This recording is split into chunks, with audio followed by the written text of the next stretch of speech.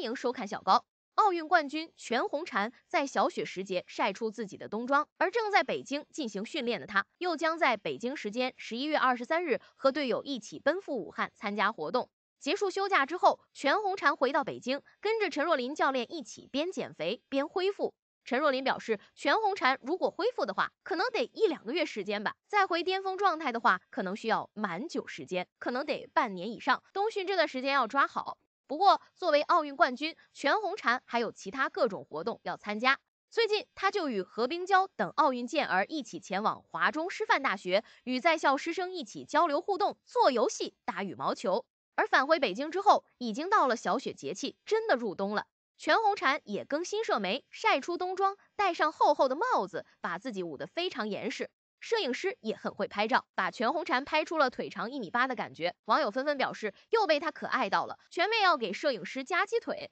十一月二十三日，全红婵又马不停蹄地离开北京，与陈芋汐、陈艺文、昌雅妮等中国游泳队的奥运冠军们一起来到武汉，参加国家队的赞助商活动。等到忙完这一波，全红婵就该跟着陈若琳教练一起踏踏实实的进行冬训了。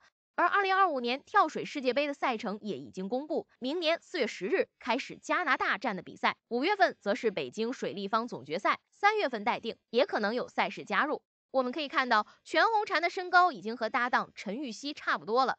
陈芋汐已经经历了发育关，她的身高基本停留在一米六五。对于一位跳水运动员来说，这已经是值得称赞的身高了。身体修长的陈芋汐非常漂亮。全红婵在发育后，目前来看比陈芋汐差不了多少，在某个角度来看，甚至已经和陈芋汐一样高了。但可以肯定的是，全红婵的身高应该过了一米六。全红婵在采访中表示，冬训情况还行吧，恢复的超不多，一二组还能再提高一点，先把动作练好，好好训练，提高自己吧。可以看到，全红婵的采访也越来越成熟了。